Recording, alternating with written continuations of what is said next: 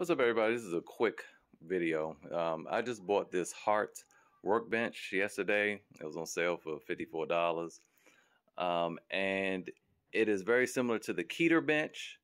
Uh, and I'm not going to get too much into it, but I just wanted to go over the quality of the bench. Now, when I first got it, it was all wrapped up. It breaks down in very nicely. But if you look at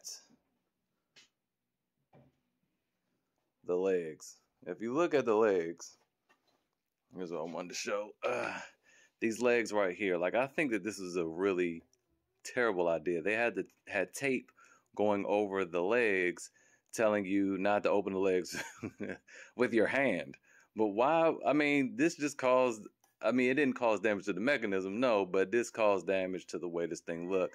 I could probably get some uh, goof off or some goo gone to get this off, but I, I don't like that. Uh, another thing, the mold wasn't done in a perfect manner. And mind you, I've only been really looking at this thing for like five minutes. I just got done. But this, I have no idea what this was attached to. So there's that. That that uh, plastic trash, and then these little things right here. They they ser they serve no purpose. I just bit my tongue, but they serve no purpose. But the finish on this one's not too bad. But the finish on this one was really bad. I had to actually peel off all the extra. Where is it at? I thought I left it on the table to show. Okay, here's some of the remnants. I had to peel off because it was hanging up and hanging off, and I didn't want to cut myself later on on that. So I had to pull that off. Uh, another thing, we look at the finish of these sliders here. Now this is where your clamps go. Uh, and I like the feature, but again, the finish is just not really there. Let's look at it. Right there, that just looks like something was chewing on it. You see on this side, it's fine. I mean, this right side is is is, is pretty much I want to say perfect because there's discoloration on the plastic here and it's rough. It has a rough feel, so the finish isn't perfect. Uh, but over here, it's not even level. You guys see that? Of course you can. Uh, and again, right here, this is kind of chewed up there. Now, just to illustrate how easy it is to break this thing down, though, this is the tape that was on there. Foolishness. There's probably some more issues down here and whatnot, but I didn't really get into that. But you see right there, the finish again.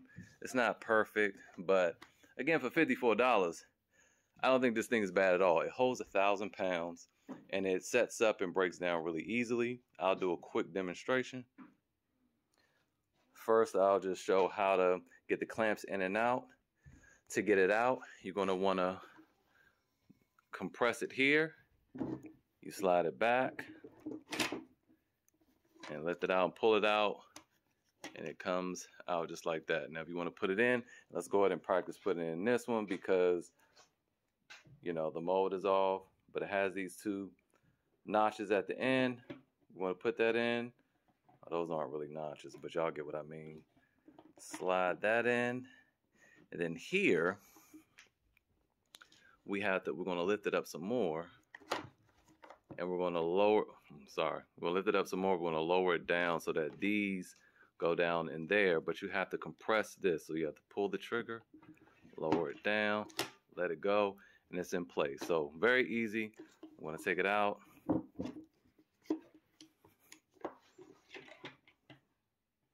slide it out. And now I'm going to demonstrate how to break it down and how to set it up.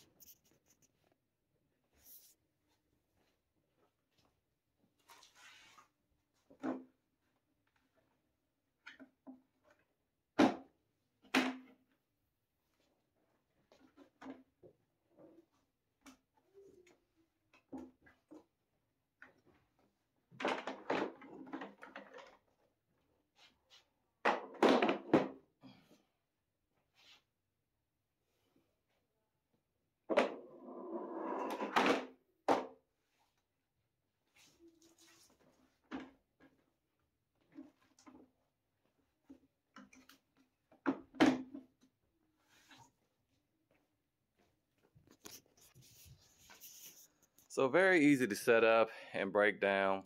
Overall, I think for $54, this thing is amazing. And now I don't have to worry about trying to hold things while I cut them, especially for this upcoming video. And uh, that was pretty much it. Just a quick video to show you guys how the Hart Workbench works. And uh, see you guys next time.